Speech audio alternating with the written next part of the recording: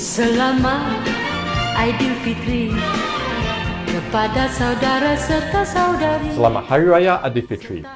Hello, I'm Mark Lim and I have this wish for you on this special festivity.